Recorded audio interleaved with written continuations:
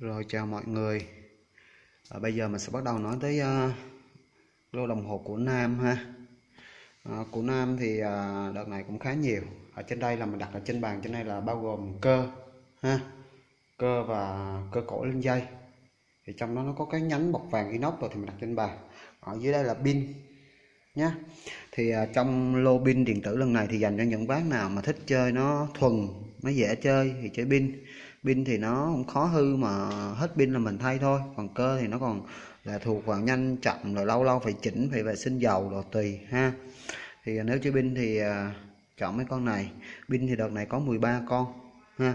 Thì trong 13 con này thì à, có 5 con ở trên này. Đó là hàng của Nhật và các thương hiệu châu Âu. Nhật sản xuất thì nó tương đương với Nhật, ha. Ví dụ như những con Ý này, Armani với lại Dolce Cresto là những con này mình bán rất là nhiều rồi nè những con Dolce Cresto này ha. Đây là thương hiệu đồng hồ của Ý nha. Nhưng mà những Ý thì họ không có công nghệ đồng hồ đâu. Thì uh, Nhật họ gia công sản xuất thì mình cũng tương đương. Mình đưa nó vô nhóm của Nhật luôn đi cho nó dễ nói thì có 5 con ha. Trong năm con Nhật này về size thì mình nói là những con này là 1, 2, 3 ba con này là size 40 này có con này size con Armani này Pro Armani của Ý này thì nó bự hơn một chút nó size 43 nha. Rồi con ngoài đây á, thì uh, con thi thân titan này thì à, mặt nó nhỏ hơn một xíu không tính núm là 38 ha. À, nó nhỏ hơn một chút so với con này nhá con này 38 được chưa? Còn với thụy sĩ nè thụy sĩ thì ở đây cũng có những thương hiệu rất là lớn ví dụ như Movado này ha Gui nè Sima nè Swatch nè đây là những cái thương hiệu mình bán rất quen thuộc rồi. Tissot là Omega nè ha không ạ ở dưới đây là thụy sĩ chính quốc hết chỉ có một con Pháp con Valia này là làm hộp Pháp chạy trên công nghệ thụy sĩ và nhật đóng thân vỏ bọc vàng nhật luôn. Thông tin nó rất là rõ ha. Dưới đây nè. Còn nguyên siêu luôn ha.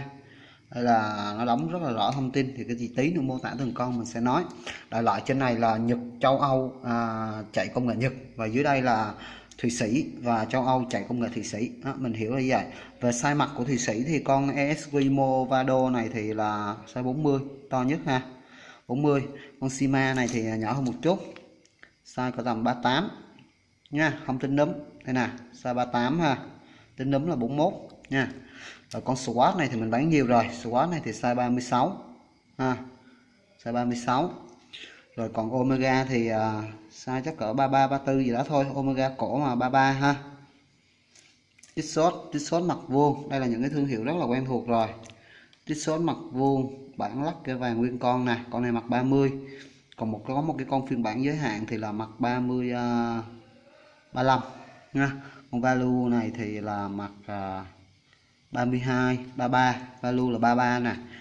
Còn con mặt vuông này thì uh, size là 26 ha đó là về size. Còn về uh, cấu trúc thân vỏ nè thì mình nói con nào ra con đó ha. Ở đây tất cả thép thiết đồ là hàng chuẩn chính hãng hết anh em không có phải lăng tăng à, về ngoại hình tổng thể thì con nào cũng đẹp hết. May chăng có một số con nó hơi dơ trong kẻ này. Anh em về chịu khó vệ sinh thêm. Chứ mình cũng uh, vệ sinh nước đầu sơ sơ rồi ha. Nhưng mà có những con nó còn sót bụi sót bặm thì thôi. Chấp nhận cho hàng bãi thì à, phải chấp nhận điều đó thôi.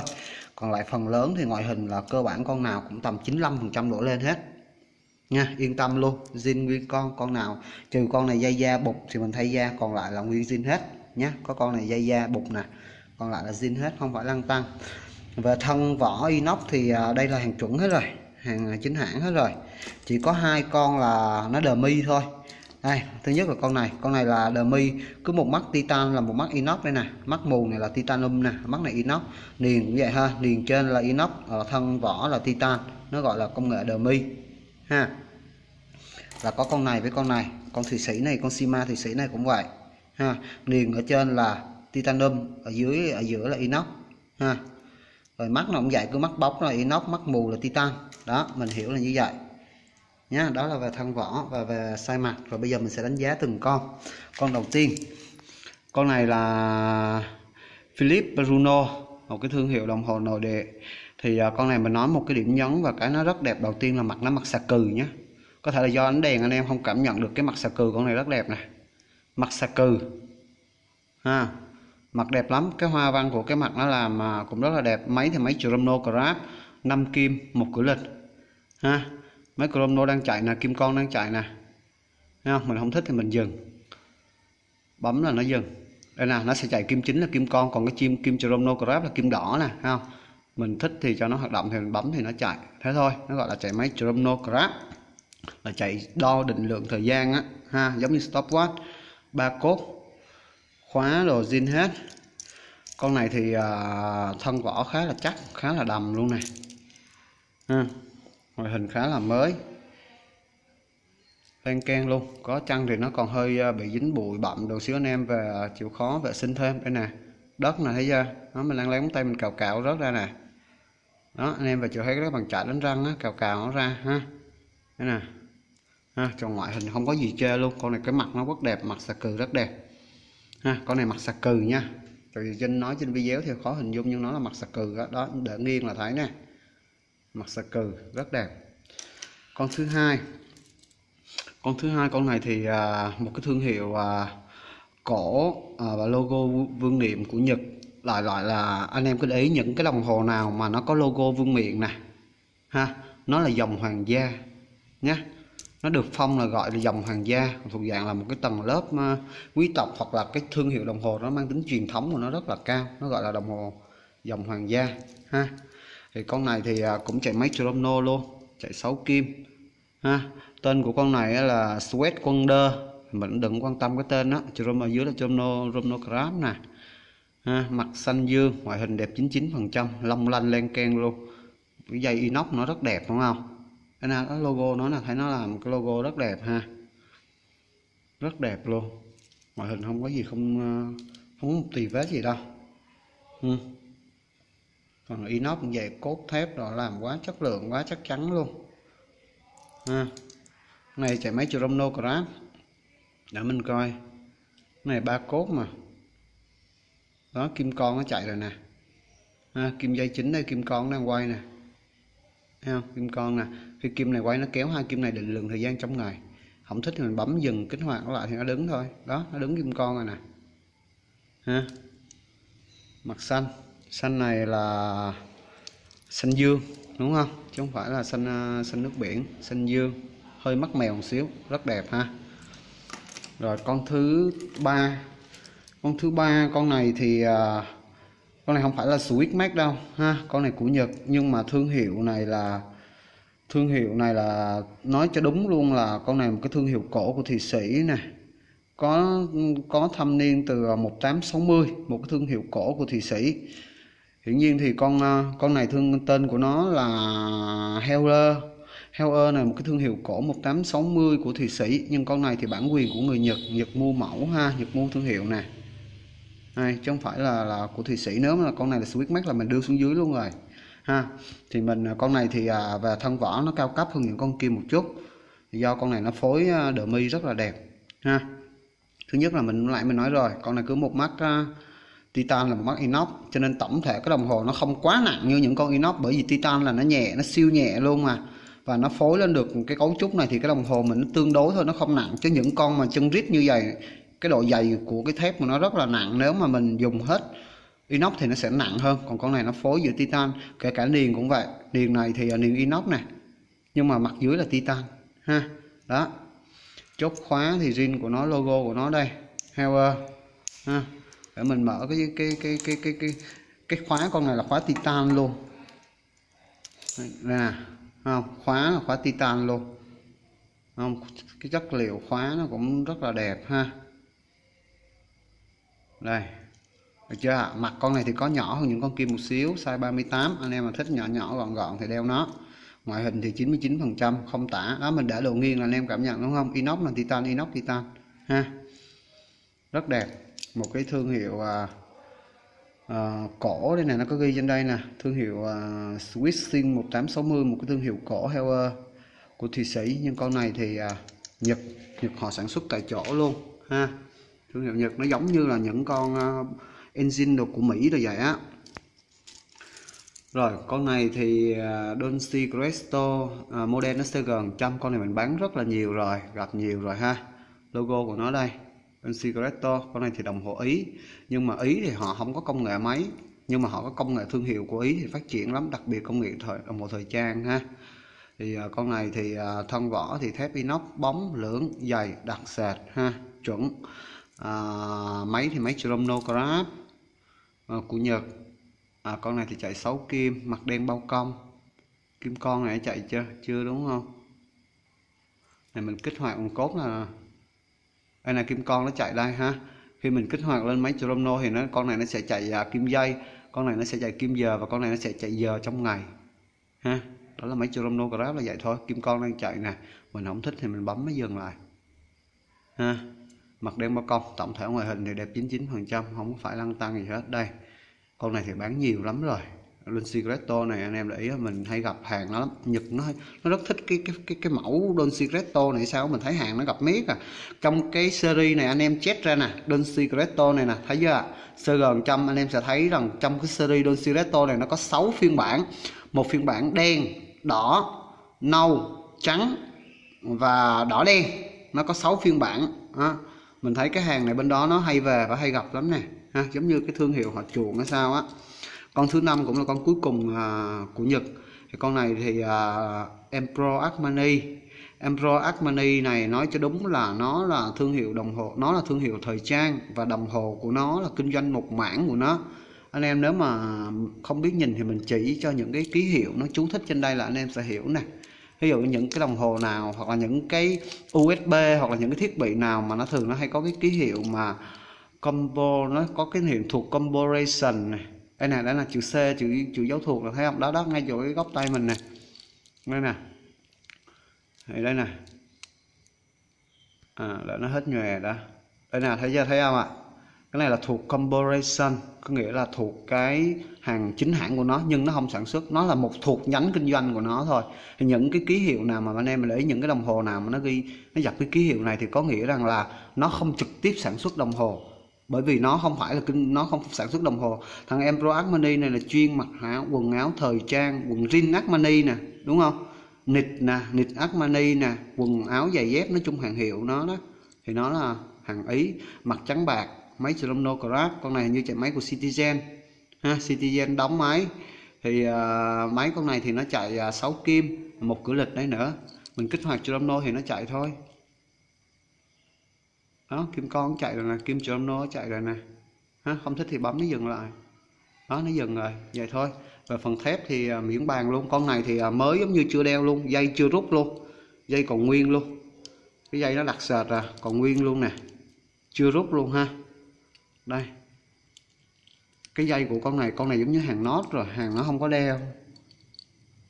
Ừ. thấy không ạ? Thép rất là dày, ha. Logo nó nè. Rồi con này nếu mà bác nào thích đeo mặt bự thì đeo con này nhé con này mặt bự, mặt 43 rồi, tới thị sĩ. Thị sĩ thì con đầu tiên, con swat. Swat được trước mình à, bán có mấy con rồi. Con này mặt đen bao công, nhưng con này ăn tiền ở cái dây. Cái dây kích điệu, dây lắc rất là đẹp, ha. Đây nè bây giờ caro ờ, bấm lỗ này rất là đẹp. Nó cách điệu rất là đẹp ha. Mặt thì gọn con này thì mặt 36 thôi chả mấy Chrono đây zin nguyên con ha. Khóa ngấm rồi đây khóa của nó là đây. Rất đẹp. Swatch thì nó theo một cái mô tiếp rồi, ha.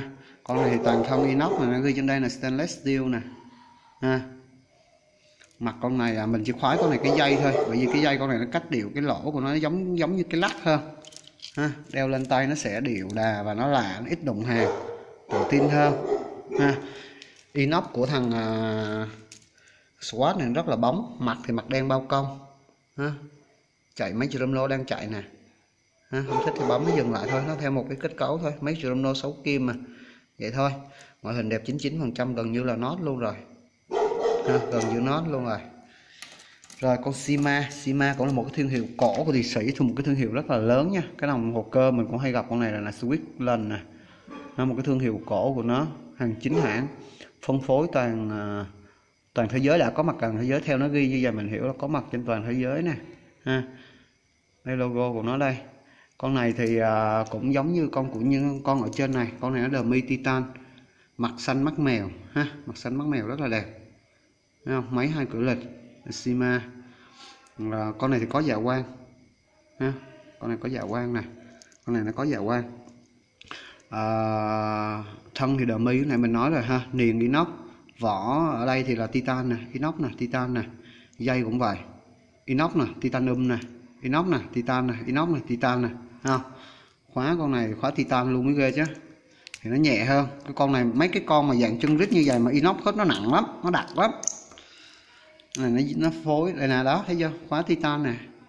Không? Chứ không phải là stainless steel đâu. Khóa titan. Rất là đẹp. Đây nè. Đây là nó có dập trên đây ha. Cái đồng hồ nó, khi mà nó đã gia công như vậy thì mình sẽ hiểu nó nằm phân khúc cao hơn những con phổ thông kia. Ngoại hình thì đẹp 99 phần trăm. Đâu có cái gì mình phải chê đâu ha. Long lanh luôn. Rồi. Rồi con tiếp theo, con ESQ ESQ này là một nhánh đồng hồ của Movado nhé nó giống như là Rolex với Monchet. Đây này đây này dưới đây ghi là Swiss Movado Watch uh, là đồng hồ điện tử của Movado này ESQ này nó viết tắt một nhánh của Movado một thương hiệu lớn của của của của thị sĩ á. Anh em chết ra ESC này nó sẽ ra rất là nhiều ha. Nó giống như là một nhánh của Rolex với Monchet hoặc là Wittnoer với Longines rồi vậy mình hiểu là nó là như vậy. Đây con này thì là à, zin nguyên con khóa của nó đây ha. Con này thì dây uh, inox có đờ mi đờ mi ở đây là đờ mi phối hai màu nhé. Mắt ngoài là mù, mắt giữa là bóng, mắt ngoài là mù, mắt giữa là bóng. Nhưng mà không phải titan đâu, con này là inox mù thôi. Inox bạc xước á, ha. Nhưng mà ở giữa là bóng này nó gọi là đờ mi tạo hai màu trên thân dây. Chứ còn này là, con này là nó đờ mi mà nó tạo hợp chất, hai hợp chất trên một thân dây. Con này thì tạo hai màu thôi. Thân vỏ thì à, inox hết, nó gọi là stainless steel pack ha. Ngoại hình đẹp 99 phần trăm, không có gì tả hết, mặt đen bao công thương hiệu lớn, ha, Movado ESQ rồi. Rồi, con tiếp theo, con vui con này là đồng hồ thụy sĩ chính hãng. Vui con này thì à, thân vỏ nó đờ mi, nhưng mà nó đờ mi vàng gold, ha. Dây còn rất là rộng rãi, thoải mái. Ở đây dây hình như con nào cũng rộng hết, anh em yên tâm đi, ha. Con này nặng nha. Cái dây đặc sệt à anh em thấy mình lắc không? Lấy mấy con ở đây mình lắc con nào cũng vậy hết nè. Nó đặc sệt à đúng không ạ? Thì ờ, con này ờ, tương đối là đầm nặng nè, tại vì cái mình nhìn cái chất inox nó là mình biết ngay liền nè, nó rất là đặc ha. Thì con này mặc chữ nhật, đeo con này cũng hay lịch lọc 6 giờ, chạy hai kim. Bây giờ là 8 giờ kém 20 ha thế nè, thấy không ạ? À? 8 giờ kém 20 tiết số omega này ha 8 giờ kém 20 cái con này thì đẹp có 98 phần trăm 98 9 phần trăm, zin nguyên con vậy luôn, để mình lên tay con mặt vuông này cho mọi người dễ hình dung nhé từ vì nếu mà nhìn qua video không hình dung được đâu. Thì cái form là form nam á. Đây nè gui chính hãng nè. Máy nó máy gui luôn máy gui switch luôn. Máy gui luôn ha máy gui chính hãng switch thì à, dây nó thoải mái lắm. Mình đeo vô còn rộng tới à, thọt bốn năm năm cái vô cơ bản con nào cũng rất là rộng ha rộng thông thình. Con này thì nam đeo giống như một cái lắc vậy đó hơn là cái đồng hồ. Bản dây bự nhưng mà mặt nó nhỏ ha giống một cái lắc rất đẹp nhé gọn, không có quá thô. Đây nè, thấy không ạ? Nhìn giống cái lắc hơn mình đeo lắc nhiều lắm. Lắc mình rất là nhiều. Mình chơi lắc, mình chơi nhiều hơn đồng hồ nè. tay tay phải là mình đeo lắc, tay trái mình đeo đồng hồ. Ha, nhìn nó giống cái lắc hơn rồi. Con tiếp theo là con ờ, Valerie. Valerie. Valerie này là một cái thương hiệu ờ, thời trang rất lớn của Pháp ha, con này là thương hiệu Pháp, mình phải biết cái cái gốc của nó, cái đã là sau đó mình mới nói. Thì trước hết là con này là Valerie này là Pháp, nhưng mà con này về cấu trúc thân vỏ, này là là nó bọc vàng nhá vàng 16k không? Thì có nghĩa là niền này nó bọc 16 luôn và núm 16 luôn. Và cấu trúc của con này con này thì còn siêu luôn nè. Siêu là chưa gọi lớp dáng luôn, mình à, cũng, mình cho anh em coi nè. Để nó ra chỗ nào, thấy chưa? Ở đây nhá. Đúng không ạ? Valerie con này là Swiss Movement, là máy thụy sĩ Jabanka là công nghệ vỏ Kelet này là công nghệ vỏ Nhật, thấy không ạ? Và đó, Swiss Movement và Jabanka nghĩa là công nghệ đóng vỏ Nhật. Hàng chính hãng của nó là như vậy á, chứ nhiều khi mình không hiểu là tại sao à như vậy, đồng hồ nó nó chuẩn, nó rất là đa dạng. Đây, vỏ của nó đây. Ha, để từ từ nó hết nghề thấy chưa vỏ Valerie. Sabanka là vỏ của Nhật và Gold Black nha. Con này là Gold Black là bọc vàng nha. Đây nè Gold Black nè ha. Bọc vàng, và đây là rõ ràng luôn, Nhật vàng 16k nè. Ha, thì mình sẽ hiểu đây tất cả những cái này là nó bọc 16 hết. Nha bọc 16k hết. Đây, cả nấm luôn ha. Đó, nếu mà đúng cái thông tin là nó là như vậy. Con này thì hàng nguyên siêu luôn. Nó chơi đồng hồ, nếu mình mầm, mình mày, mình mò thì à, nó như vậy. Con này phong tròn bác nào cổ tay để tròn tròn đeo cái này, này. Phong tròn mà dây nó cứng dây nó khá là đặc. Cho nên là nó liên kết với nhau rất là chắc. Cho nên là nó là dành cho những người cổ tay tròn đeo sẽ rất là đẹp ha. Mặt thì à, nhỏ nhỏ gọn gọn thôi. Đây lên tay đây. Cái cơ bản con nào em cũng sọt bốn ngón vô được hết cho nên không có sợ đâu đúng không? Rất là rộng rãi. Đây cổ tay bác nào tròn thì chơi con này. Con này thì nó đẹp theo cái giá trị theo cái kiểu riêng của nó đúng không? Rất là ôm tay ha, dây nó không có sụp sạch như những con kia. Những con này thì cái mắt của nó rời dây nó sụp sạch. Ha, cái dây của nó rất là thoải mái sụp sạch còn con này là nó ôm. Nghe rồi con uh, số 10 số 10 cũng là một cái uh, đồng hồ nó rất là lạ mà lâu nay giờ mà mình mới gặp. Con số 10 đây là con này là một cái thương hiệu đồng hồ gì đó của thụy sĩ. Nó chạy máy ờ, thụy sĩ luôn. Đây switch quạt ha đây nè switch mắt quạt máy nó máy thụy sĩ luôn. Đây mình à, hiểu lần này là đây là một cái phiên bản giới hạn bản kỷ niệm. Con này thì đời chính xác nó là 22 tháng 11 năm 43 1943 ha. Con này là phiên bản chữ ký của ông ông ông Miset gì đây nè ha. Logo của nó khảm vàng luôn. Logo ly cà phê đây này ông Vũ Trung Nguyên của mình mà ông thấy cái này chắc là ông thích lắm đây. À, có ly cà phê đây nè ha. Thì đây là một cái phiên bản gì đó giới hạn trên truyện thì nó có đóng ở trên đây vàng 20 ha. Đây nè nó có đóng thông tin ở trên truyện nè ha. Thì à, mình hiểu là con này là một cái bản đồng hồ của thụy sĩ bản giới hạn kỷ niệm của một tập đoàn hay của một nhân vật lớn nào đó. Ha, tên ổng có khắc chữ ký đây nè. Ha, ha. con này thì đời à, 43 năm 43 là cũng lâu lắm rồi đúng không? Mà chỉ có dây da của nó là mình thay thôi chứ còn lại con này nó đẹp, nó có 99 phần trăm luôn á, nó như nốt luôn á. Giống như cái phiên, những cái phiên bản kỷ niệm này thường là người ta cất người ta không có đeo đâu. Ha, chạy máy pin, chứ con này mà hàng cơ chắc là mắc lắm đây. Ha, đây có đóng chuyện nè, vàng 20 nè, ha con vác dưới đây nè, đóng chuyện nè. Đẹp lắm. Anh em thích siêu tầm thì lấy con này chứ thật ra mình bán cũng, còn mấy cái núm này thì nó hơi bạc bạc, là do trong quá trình mình sử dụng cái tay mình mồ hôi này mình cạ vô thì nó sẽ cái nước vàng nó sẽ bạc hơn so với cái đồng hồ. Cái nào cũng vậy hầu như mà đã đã chạm vô vặn rồi thì là cái cái muối axit của mình nó chạm vô ấy thôi. Chứ còn lại nó đẹp của 99 phần trăm không có một cái gì phải chê luôn á. Cái mặt này là chắc chắn là nó khảm vàng luôn rồi. Mặt nổi mà đúng không? Mặt nổi đi hết là nó khảm hết á nó bọc á. Ha, đồ chơi của tụi nó đâu có làm tạp nham đâu không phải như mấy cái nước nghèo của mình đâu mà. Rồi con áp chó con số 12 à, là con tít sốt con này mình bán nhiều rồi tít sốt thì là thương hiệu thụy sĩ quen thuộc ha. Cũng chẳng phải là lớn nhưng mà cũng tương đối so với lại Việt Nam mình. Nói tính sốt là cũng một thương hiệu lớn rồi. Nhưng mà thật ra trên bảng xếp hạng thì nó cũng không phải là thương hiệu lớn đâu. Máy thì máy tít số chính hãng. Con này thì bản lắc kê vàng nguyên con. Ngoại hình cũng tương đối đẹp. Vàng không có bong chóc gì hết. Dây zin nó nha. Nó con này thì cái dây zin nó như vậy. Ha. Nè, dây đúc nó nè. Nước vàng khá đẹp. Con này là niềng cứa, niềng bông á. Ha. Mặt mà con này như mặt bát giác chứ không không hẳn là vuông ha, mặt 12 cạnh. Nè, ha, nước dây vàng khá là đẹp. Đó, nó đứng gần cái cục vàng, cái cái cái cái nhẫn vàng của mình đang đeo, các bác thấy nó không có lệch màu nhau luôn thấy chưa? Đúng không ạ? Còn rất là rực. Ừ. rồi, cuối cùng thương hiệu Omega. Omega là mình bán nhiều rồi. Omega, con này thì Omega Devil size mặt thì 33 cổ nam đeo cũng đẹp, nữ đeo cũng đẹp con này zin nguyên con luôn, lúm niết rồi luôn ha. Con này là dòng Devil Devil này thì mình hiểu rằng là Omega có bốn bốn thương, bốn dòng rất là nổi tiếng. Đứng đầu là là con Constellation đó là dòng được kiểm định. Thứ hai là Simaster Simaster và thứ ba là Devil Devil này không phải là cái dòng đứng dưới Simaster mà nó là phiên bản update của Simaster nếu mà anh em mà chơi chơi chơi đồng hồ chơi mà mê Omega sẽ hiểu đúng không? Devil này là cái phiên bản nâng cấp từ Omega lên sau khi thành công của của Simaster thì là năm 1960 thì Devil này bắt đầu là xuất hiện. Nó là giống như một cái phiên bản nâng cấp của Simaster vậy đó. Nó cải tiến về mẫu mã và nó mang cái sức trẻ trung hơn, nó gọi là Devil ha, nếu mà hiểu sâu là như vậy.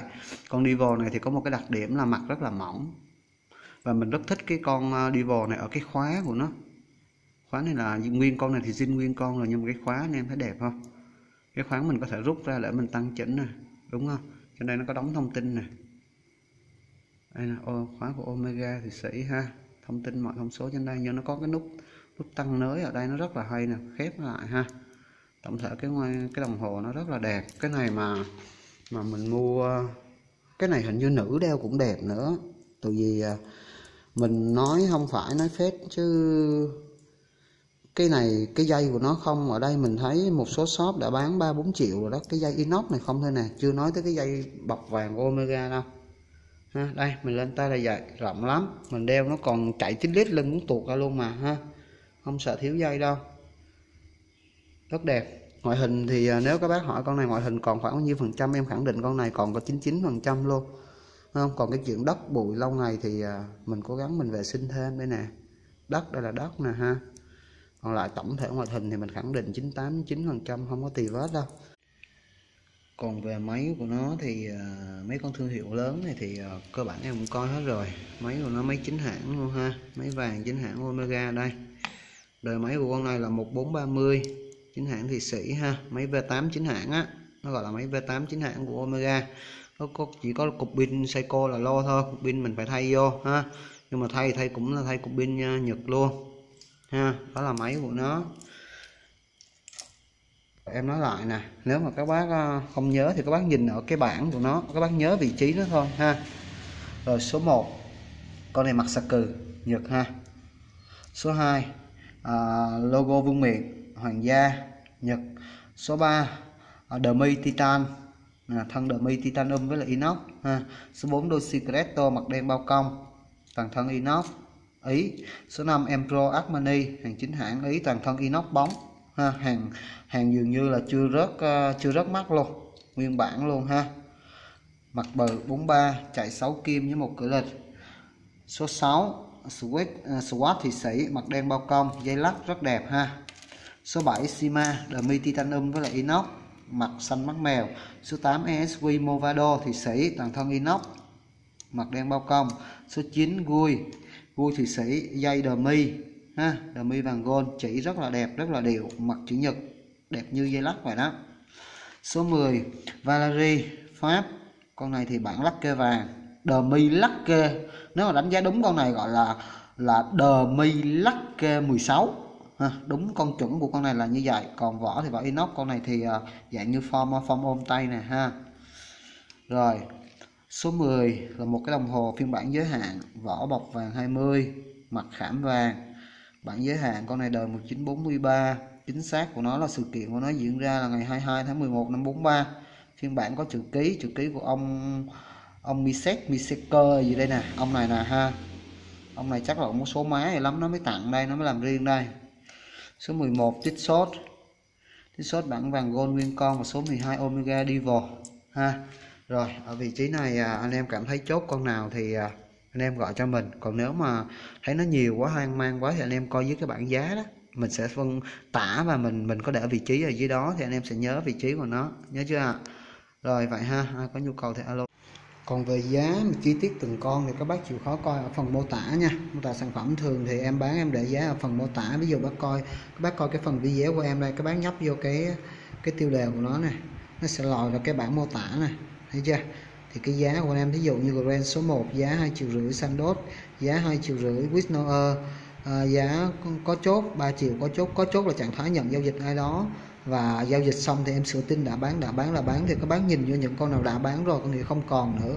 Thì các bác đỡ phải gọi các bác đỡ phải quan tâm các bác quan tâm những con còn lại. Thì đó cái cách coi giá là như vậy ha. Kể cả các bác coi trên điện thoại hoặc là coi trên tivi cũng vậy ở dưới đó lúc nào cũng có bảng giá hết. Đó cái cách mình để giá là như vậy. À, vì sao mình bán xong rồi mình để giá và nếu mình giao dịch xong mình sẽ xóa giá đi?